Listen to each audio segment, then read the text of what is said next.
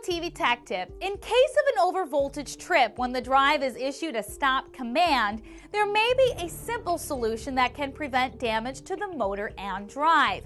The overvoltage trip could be caused by the high inertia loads that tend to generate more voltage when stopping. Using a car as an example, a car going uphill would require less effort to brake than a car going downhill since there is less inertia. The car going downhill has to fight inertia and will require more to stop.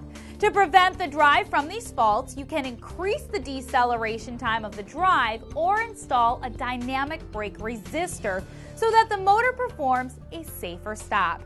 For more about drives, make sure you check out our other videos on GTV.